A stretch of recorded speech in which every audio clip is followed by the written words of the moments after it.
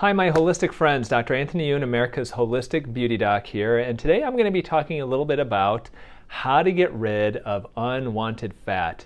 Uh, today I performed a good amount of liposuction. I also did some fat injections today. And one of the questions that I get so often from my patients is how do I get rid of unwanted fat? And what do I choose if I get all these options? So if you were to ask me 15 years ago, hey, Dr. Youn, I've got areas of unwanted fat. These are stubborn areas of fat. I'm not necessarily overweight, but I've got fat that I want to get rid of. How do I get rid of it? Uh, back then, the only option we would really have is liposuction. But the problem with liposuction is it's surgery. So I'm going to talk today about how to choose between liposuction and all these other potential modalities. Feel free to ask questions, leave comments. I'll get to the questions at the end of this broadcast, so I'll try to get to as many as I can. Uh, but let me start by going over this question of how do you get rid of unwanted fat? So, when do you choose between liposuction, or how do you choose between liposuction and some of these other options? Uh, what are the other options? Well, there are two that I recommend that I think work very well. They're scientifically proven uh, to reduce unwanted fat permanently. Uh, if you are a plastic surgery enthusiast, you've probably heard of CoolSculpting. Cool sculpting has been around for a long time, and the idea is that you can freeze your fat away. Uh, and this is an interesting, um, an interesting, I guess, idea that the skin is more hardy than the fat below it. So if you uh, if you put the skin and the fat below it at a certain low temperature, the skin will survive and be undamaged, but the fat underneath, those fat cells are more fragile and they can die off. And that's the whole idea behind uh, CoolSculpting. Cool, CoolSculpting takes about an hour where the, the fat is basically frozen and it literally feels like a stick of butter afterwards. Then you massage that fat for um, you know, a couple of days, it eventually softens up, and you lose about 25% of the thickness of your fat uh, after a couple of months. Your body, body basically expels it from your body. You basically poop it out. Uh, and that's what uh, a lot of med spas, a lot of doctors have CoolSculpting. It works. Uh, you get fairly modest results, but it definitely works. The one that, that I have in my office is called SculpSure.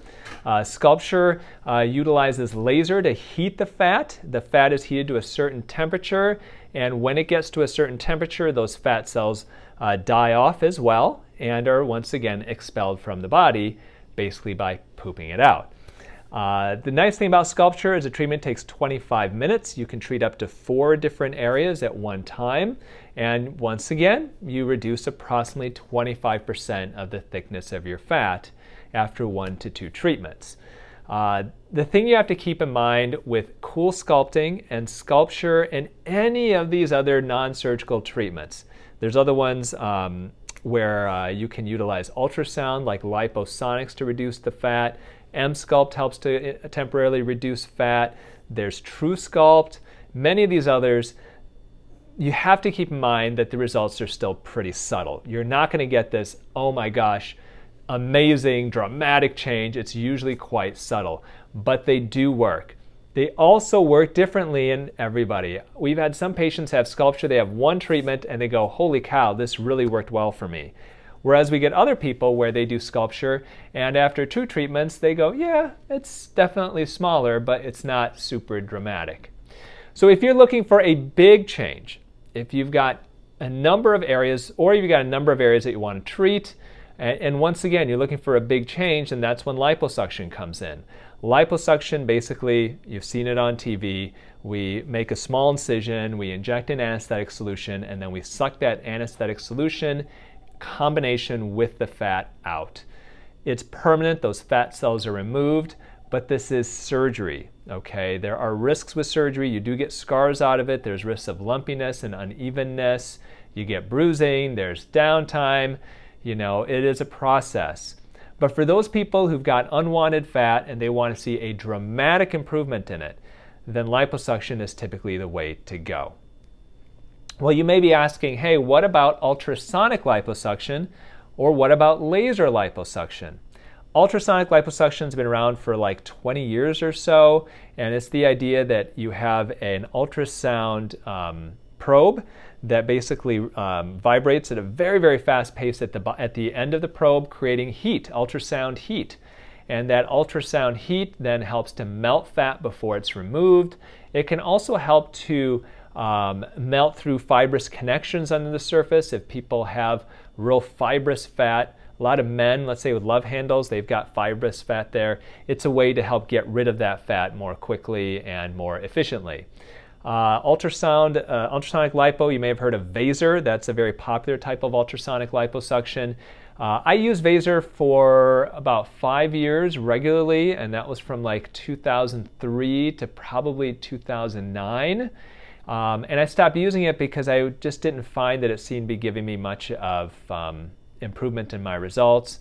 I felt that it just took more time and costed more money for the patient, so I ended up stopping using it. Uh, some doctors are still using ultrasound, ultrasonic lipo, but once again, not nearly as popular as it used to be. Uh, the other one is laser liposuction. About 10 years ago, maybe a little bit less than that, laser liposuction was like huge. All the laser companies had their own laser liposuction device, and the idea is that if you stick a laser probe underneath the skin, the end of that laser creates heat. Uh, it can uh, heat up the skin overlying it and help to potentially tighten up that skin. The problem with, with laser liposuction is you really can only treat small parts of the body at a time. It doesn't do you good to use a tiny laser fiber over, let's say, an entire thigh. That takes forever to treat it.